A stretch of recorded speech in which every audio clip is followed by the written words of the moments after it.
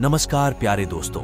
रोज़ाना की तरह वीडियो शुरू करने से पहले आज की नई सीख, अन्नदानम महादानम विद्यादान मत, परम अन्नेन क्षणिका तृप्त्य, यावत जीवंच विद्या, अर्थात भोजन देना एक महान उपहार है, लेकिन शिक्षा देना इससे भी बड़ा उपहार है। भोजन करने से जो संतुष्टि मिलती है, वह क्षणिक होती है, जबकि शिक्षा के अच्छे परिणाम जीवन भर के लिए होते हैं।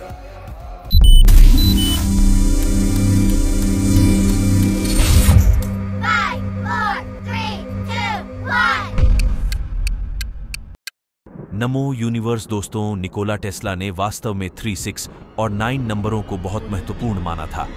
लेकिन उनके अनुसार, ये नंबर ब्रह्मांड की रहस्यमय शक्ति को संदर्भित करते हैं।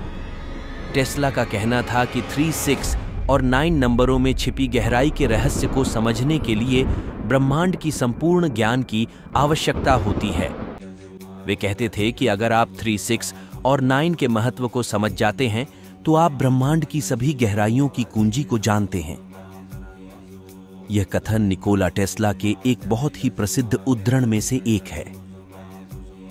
निकोला टेस्ला इस धरती पर पैदा होने वाले टॉप के जीनियस लोगों में से एक ऐसा नाम जिनके साथ न जाने कितने अनगिनत रहस्य जुड़े हैं, जिन्हें सुलझाने में आज भी विज्ञान पूरी तरह से उलझा हुआ है। और ऐसा ही एक रहस्य है, थ्री सिक्स और नाइन नंबर। जिसे टेस्ला कोड भी कहा जाता है, जिसके बारे में पिछले 20 सालों में की गई रिसर्च से जो रिज़ल्ट सामने आए हैं, वो बहुत ही हैरान करने वाले हैं। Electricity, electric motor, accident, technology, radio, remote control, technology, जैसे कामयाब आविष्कारों के जन्मदाता 300 से ज़्यादा पेटेंट और अनलिमिटेड, फ्री वायरलेस इलेक्ट्रिसिटी। जैसे अनगिनत मिस्टीरियस एक्सपेरिमेंट करने वाले रहस्यमय आविष्कारक। निकोला, आखिर इन थ्री सिक्स और नाइन नंबर के अपने थ्योरी से दुनिया को क्या समझाना चाहते थे? आखिर थ्री सिक्स और नाइन नंबर को लेकर उन्होंने इतना बड़ा दवा क्यों किया कि यदि आप इन नंबर्स के रहस्य को सुलझा पाए तो समझो, अपने इस यूनिवर्स की चाबी को खोज लिया है।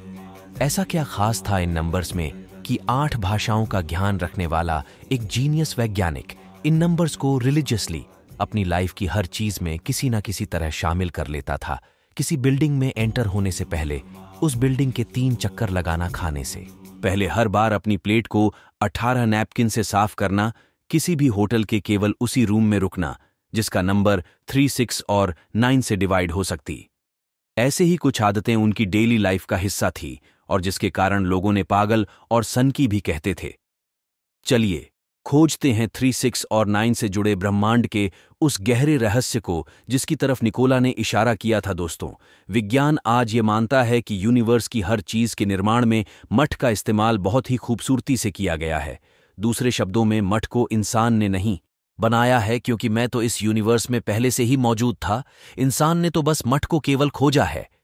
जी हाँ, गणित वह भाषा है, जिसका इस्तेमाल सृष्टि के निर्माण में हर चीज़ में किया गया है, और सेक्रेट पैटर्न इस ब्रह्मांड की हर चीज़ में मौजूद वह इंटरेस्टिंग पैटर्न है जिसे डी ब्लू प्रिंट ऑफ़ गोद भी कहा जाता है।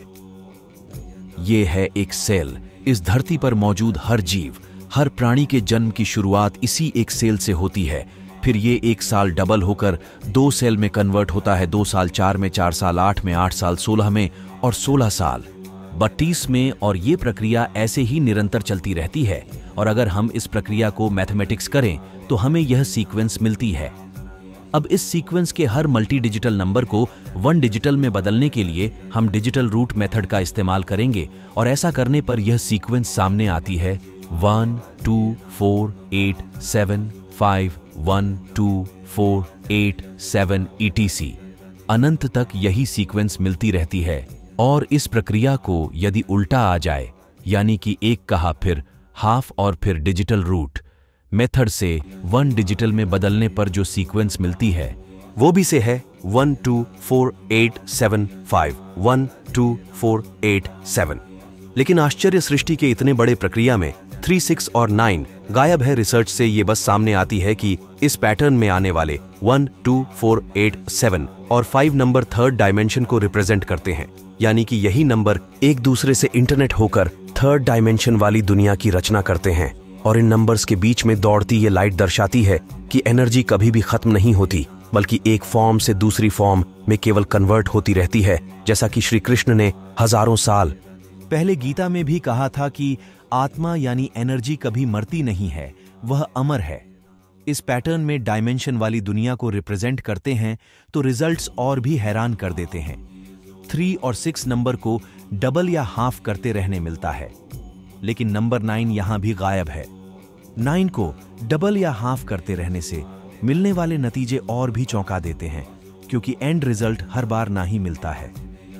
हम सभी जानते हैं कि एक सर्कल 360 डिग्री का होता है, और जब सर्कल को बाइसेक्स यानी विभाजित करना स्टार्ट करते हैं तो एंगल का। एंड रिज़ल्ट अनंत तक करने पर भी हर बार नाइन ही आता है। धरती चंद और सूर्य के डायमीटर का digital root nine speed of light का डिजिटल रूट नाइन एक दिन में आठ छ चार ज़ीरो ज़ीरो सेकेंड एक चार चार ज़ीरो मिनट और डिजिटल रूट निकलेंगे तो उनका डिजिटल रूट नाइन मिलेगा। नाइन के टेबल में डिजिटल रूट नाइन ही मिलेगा। यानी कि नाइन नंबर इस यूनिवर्स की प्राइम पावर है। इस इमेज में भी नाइन नंबर सबसे टॉप में एक किंग की तरह विराजमान है। थ्री और सिक्स नंबर को कंट्रोल करता है। और नंबर थ्री और सिक्स बाकी के नंबर को कंट्रोल करते हैं, जैसे number three, number one, two और फोर को कंट्रोल करता है और नंबर सिक्स, फाइव, सेवन और एट को कंट्रोल करता है। यानी कि सभी नंबर नाइन के निगरानी में इस ब्रह्मांड को बनाते हैं। ये पैटर्न बताते हैं कि नंबर नाइन नेचर में एक एक्सिस की तरह काम करता है, यानी कि हर जगह यह एक में रोल निभाता है। नंबर नाइन मौजूद एनर्जी फ्रीक्वेंसी और वाइब्रेशन का एक में सोर्स है। और इस ब्रह्मांड में मौजूद हर चीज़ इसी की वजह से अस्तित्व में है। इस ब्रह्मांड की सभी शक्तियाँ पैर में कम करती दिखाई देती हैं, जैसे इस पृथ्वी की मैग्नेटिक फोर्स जिस पर नॉर्थ और साउथ दो पोल ही होते हैं। इस संसार में दो तरह की शक्तियाँ विद्यमान हैं, अच्छी और बुरी। लेकिन वास्तव में यह भ्रम है, क्योंकि कोई भी शक्ति दो पैर में काम नहीं करती। सभी कुछ तीन पैर में होता है, जैसे मैग्नेट में कहने के लिए दो पोल होते हैं, जो थ्री और सिक्स को रिप्रेजेंट करते हैं। लेकिन मैग्नेट केवल इन दो पोल की वजह से काम नहीं करता, बल्कि इसमें एक तीसरी पावर का भी रोल होता है। जी हाँ, मैग्नेट का एक्सेस नंबर नाइन को रिप्रेजेंट करता है, जो मैग्नेट के दो पोल थ्री और सिक्स को पावर देता है, तभी यह दोनों पोल काम करते हैं। अच्छी और बुराई के प्रत्येक जिनंग में भी दो शक्तियाँ नहीं होती हैं। बल्कि इन दोनों शक्तियों के बीच में बनने वाला यह नंबर है, जिसका इस्तेमाल प्रोटॉन, न्यूट्रॉन और इलेक्ट्रॉन और इन्हीं तीन पार्टिकल्स से पूरे मटेरियल वर्ल्ड का निर्माण हुआ है। चार्जेस में तीन तरह के ही होते हैं, पॉजिटिव, नेगेटिव और न्यूट्रल। समय भी तीन काल में एग्जिस्ट करता है, भूत भविष्य और वर्तमान काल। और जितना रोल यहाँ तीन काल है, क्योंकि एटम के बारे में डिटेल में जाएँ तो इसमें तीन। कंपोनेंट नहीं होते, बल्कि सिक्स होते हैं। तीन पार्टिकल्स और करते हैं, और यह सब कुछ होता है। नंबर नाइन उन पार्टिकल्स में मौजूद तीन तरह के चार्जेस यानी कि नंबर थ्री और सिक्स पैर में काम करते हुए इस ब्रह्मांड का निर्माण के कंट्रोल में और नंबर नाइन की वजह से ही ये दोनों नंबर्स में क्रिएशन कर पाते हैं, सब कुछ है। हर चीज़ में मौजूद होते हुए भी यह कहीं भी एग्जिट नहीं करता, यानी कि यह नंबर सब कुछ होते हुए भी शून्य के समान है। जी हाँ सुनने में थोड़ा अजीब, लेकिन सत्य तो चलिए, इस पहेली को थोड़ा और। सुलझाते हैं अब कोई भी एक नंबर लीजिए, जिसमें नंबर नाइन हो या ज़ीरो नंबर मौजूद हो, अब इसका डिजिटल रूट निकलता है। अब हम नंबर नाइन के जगह ज़ीरो लिखकर इसका डिजिटल रूट निकलते हैं, तब वही रिज़ल्ट मिलेगा, और ये हर उसे नंबर के साथ होगा, जिसमें नंबर नाइन या ज़ीरो मौजूद है।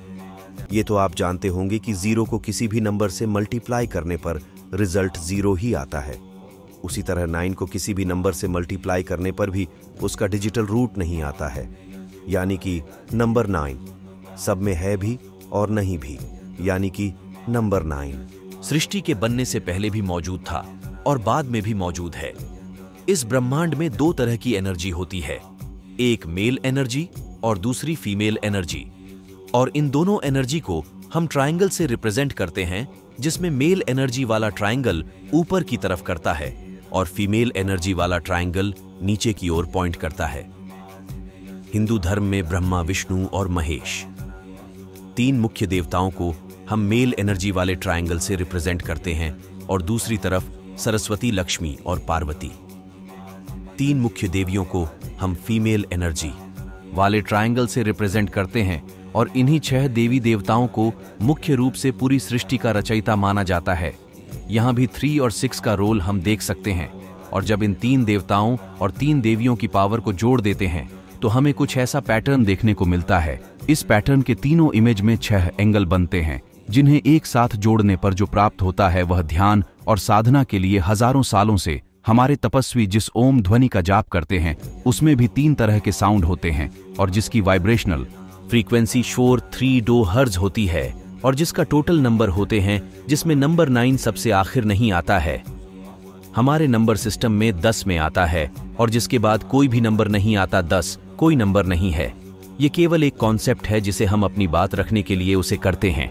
असल में नंबर नाइन से ही सब कुछ शुरू होता है, और नंबर नाइन पर आकर ही सब कुछ खत्म हो जाता है, और बीच में आने वाले नंबर भी इसी में विलीन हो जाते हैं। थ्री सिक्स और नाइन का रहस्य की तरफ़ निकोला टेस्ला ने नंबर सब कुछ होते हुए भी शून्य के। समान है, जी हाँ सुनने में थोड़ा अजीब है। लेकिन सत्य तो चलिए, इस पहेली को थोड़ा और सुझाते हैं। अब कोई भी एक नंबर लीजिए, जिसमें नंबर नाइन हो या ज़ीरो नंबर मौजूद हो। अब इसका डिजिटल रूट निकलते हैं। अब हम नंबर नाइन के जगह ज़ीरो लिखकर इसका डिजिटल रूट निकलते हैं। तब वही रिज़ल्ट मिलेगा। और ये हर उसे नंबर के साथ होगा, जिसमें नंबर नाइन या ज़ीरो मौजूद है।